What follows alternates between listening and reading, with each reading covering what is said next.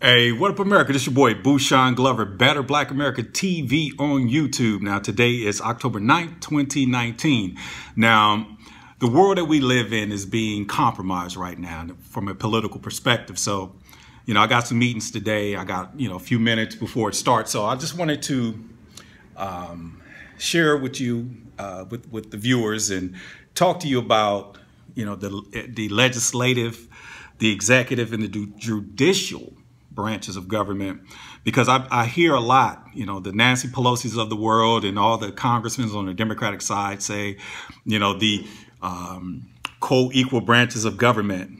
And political science is a science, you know, so therefore, you know, it, it could be debated, it could be debunked, you know, uh, things, new information could come out, things could be changed. But when they say the co-equal branches of governments, that's really not true. And that's coming from a political scientist perspective, not, you know, from a partisan perspective, meaning a Republican or a Democrat, but coming from, you know, a, a partisan perspective, meaning a nonpartisan independent. That's pretty much in the middle. Now, when they say co-equal branches of government, when you have the legislative, you got the House, okay, you got the Congress, and you got the Senate, okay, and then the Supreme Court is the, you know, which interprets the laws, but the presidency, that's the executive branch. Now think about it. Now, if you went to a high-rise building and you said, okay, I'm going to the executive offices, typically you go to the top because that's where the president, the vice president, and the president's cabinets. Now, when you go to the lawmakers, the lawmakers pretty much work for the executive office. Now, understand, you know, we have checks and balances. I understand that. But somehow the, the, the, our way has been warped based on the hatred of our elected president. Now, President Trump, you know, he's under scrutiny. You know, they're talking about impeachment and, you know, they're subpoenaing, you know, people and he's blocking these subpoenas. And he has the right to do that. And that's what I mean by that is that, that there is no co-equal branches of government because if there was co-equal branches of government, he would have not, he will not have the power to block any of the subpoenas okay? Because the president of the United States have veto power and executive order, meaning he can executive making a decision, put it into office and make it and, and run with it, or he could veto any bill that he selects or he chooses based on, you know, the, the, the country's climate. And when I look at the climate of the country that we're living in right now, it, it, it's, it's, it's really becoming a laughing stock nationally because Trump is must see TV. If you look at all the news outlets, that's all they're talking about. And then when you look at who's running these news outlets are pretty much his has been against him for a very long time. And a lot of them are, are Jewish Americans, you know, are Jewish community, meaning the CNNs of the world, the the Jerry Nadler, who's a Jewish American, who's who's the you know appropriations committee, who's trying to run the impeachment. You know, Adam Schiff, and the president called him Shifty Schiff, and he's a Jewish American. So when when when the president says let's put America first, you look at the Jewish community, the Jews uh, they don't even consider themselves white; they consider themselves Semites, and they protect their brand. And it looks like that it bled over to the Democratic Party because Harvard, like Ivy League scholars, and look this up. Ivy League scholars have deemed the Democratic Party as being anti-American.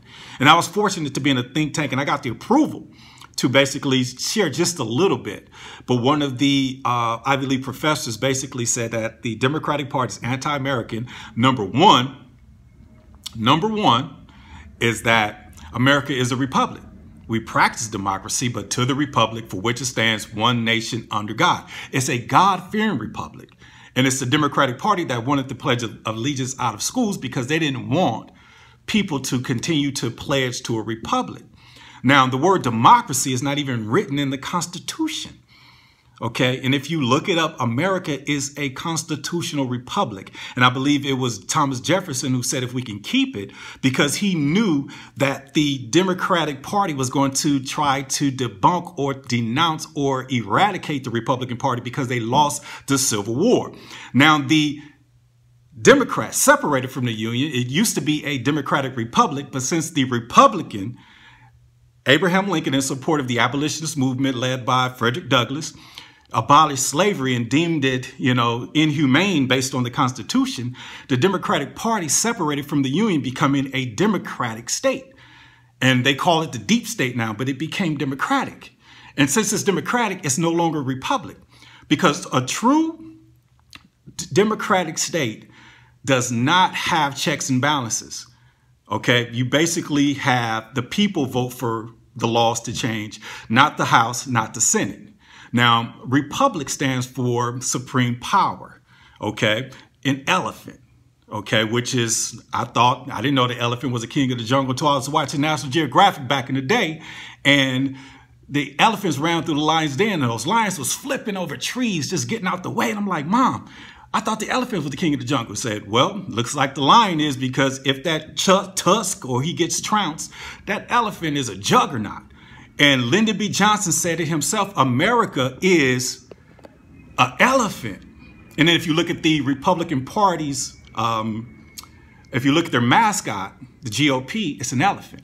Okay, now I'm a non-political party preference independent. Okay, I'm not promoting Republican. I'm not um, supporting being a Democrat. I'm basically pushing an agenda to be independent, so we could be the judge in this political courtroom. Because these two these two sides are basically out of civil war.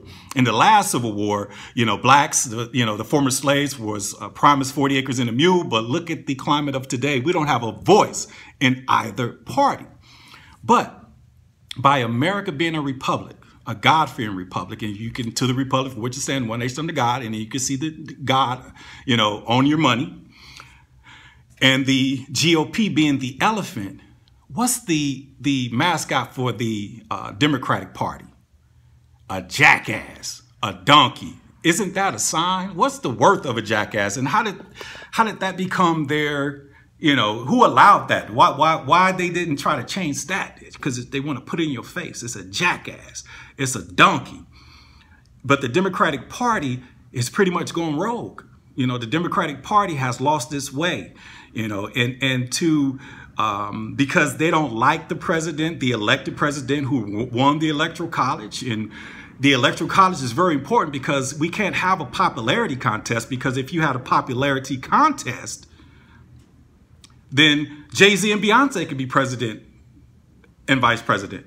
So when you talk about checks and balances, you have to win in Iowa, North Dakota, South Dakota. You got to turn those purple states into blue states. You got to turn, you know, it's a lot of politicking going on because it has to reach the fabric of America, not the big cities like New York and LA. Because based on New York and LA, based on uh, on the uh, population, you know, they can actually, you know, win the election. All they have to do is politic.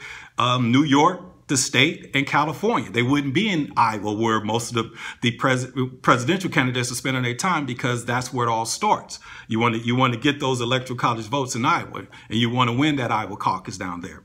So, but we're going to talk about it. Okay, we're going to talk about it. You know, uh, God has intervened, and it's time to really talk about things that we never did want to talk about. That's post-traumatic slave disorder, crab bucket syndrome. We need to talk about, you know, what direction are we going from a political perspective. And then I saw a post on YouTube, on Facebook. If President Trump promised, or President Trump, you know, put in that he would sign a bill that will not only support reparations but cut checks, would you vote for him? So we're going to talk about it. But the Harvard scholars have deemed the Democratic Party as anti-American, anti-American.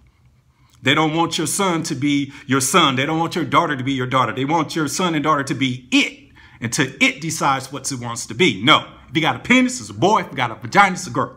But at the end of the day, the most conservative human beings on this planet is black men.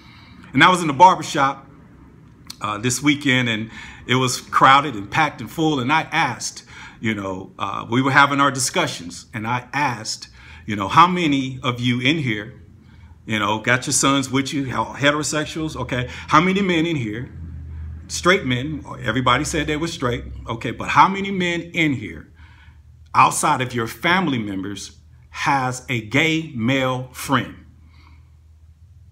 Everybody fell out laughing, because come on, man. Ain't no heterosexual man gonna be sitting back talking, you know, hey, hey, hey, Bushan, we're to be partying. You want to come hang out with me and my boys? Nigga, hell no, nigga. we, we don't get down like that. You know what I'm saying? Family's different, but when it comes to friends, you know, we're, we're alphas. You know, we're, we're the, we're, the, you know, we're men. We want to preserve who we are. We, we have to reproduce because we know, you know, if you could convince the black man to not reproduce, that's a part of the genocidal movement. And we want to talk about that moving forward. So I just wanted to give you a teaser you know, and talk about, you know, the, the climate that we're going to be moving in because we, this is a better Black America movement is a pretty much a humanity movement because we got ideas and, and, and, and, and things on the place, on the, you know, in play that are more exciting, you know, more engageable and and makes more sense than any presidential candidate. So stay tuned. you know, keep you know keep tuning in. I got to keep this content going. That's why I did the video today. Didn't have any time. But I'm to just go ahead and say this, man. It's an old, what, what's the term that they call it? Proverb, old African proverb. It's two elephants, it's two juggernaut elephants, two alpha male elephants is on the plains of Africa and they're, you know, they got to fight to see who's going to reproduce. And they fight and they fight and those two juggernauts kill themselves. You know, the only thing that suffers, and I'm referring to the two-party system as a metaphor, as those two elephants, when those two elephants kill themselves, the only thing that suffers is the grass. And with that being said, man, have a blessed day, a better Black America. Keep tuning in, hit that like, hit that notification, because we about to come hard. You know, because God's people shall not perish due to the lack of knowledge. With that being said, have a great day.